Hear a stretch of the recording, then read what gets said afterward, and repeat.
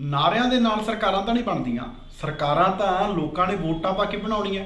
ਤੇ ਤੁਸੀਂ ਐਸਾ ਕਿਹੜਾ ਕੱਦੂ 'ਚ ਤੀਰ ਮਾਰੇ ਵੀ ਪੰਜਾਬ ਦੇ ਲੋਕ ਤੁਹਾਨੂੰ ਵੋਟਾਂ ਪਾ ਦੇਣਗੇ?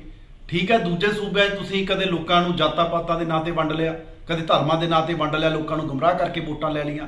ਇਹ ਪੰਜਾਬ ਹੈ।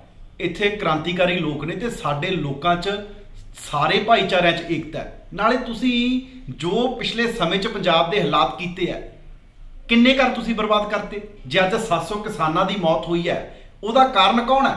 ਕੱਲੀ ਬੀਜੇਪੀ ਹੈ। ਜੇ ਅੱਜ ਪੰਜਾਬ ਦਾ ਵਪਾਰ ਬਰਬਾਦ ਹੋਇਆ, ਉਹਦੀ ਜ਼ਿੰਮੇਵਾਰ ਕੌਣ ਹੈ? ਕੱਲੀ ਬੀਜੇਪੀ ਹੈ। ਤੇ ਲੋਕ ਤੁਹਾਨੂੰ ਕੱਲ ਹੀ ਵੋਟਾਂ ਪਾਉਣਗੇ।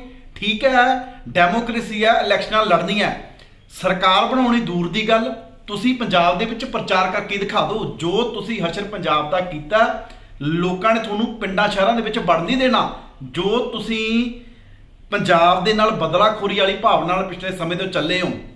ਪੰਜਾਬ ਕੀ ਤੁਸੀਂ ਸਾਰੇ ਹਿੰਦੁਸਤਾਨ ਚ ਤੁਸੀਂ ਪੰਜਾਬ ਦੀ ਛੱਡੋ, ਜਿਹੜਾ ਤੁਸੀਂ ਨਾ ਜੋ ਅੱਜ ਬੀਜੇਪੀ ਦੇ ਹਾਲਾਤ ਹੋਇਆ ਲੋਕਾਂ ਨੇ ਤੁਹਾਨੂੰ ਜਿੱਥੇ ਤੁਹਾਡੀਆਂ ਸਰਕਾਰਾਂ ਨੇ ਯੂਪੀ ਬਿਹਾਰ ਚੋਂ ਵੀ ਬਾਹਰ ਕਰਨਗੇ ਆਉਣ ਵਾਲੇ ਸਮੇਂ ਦੇ ਵਿੱਚ।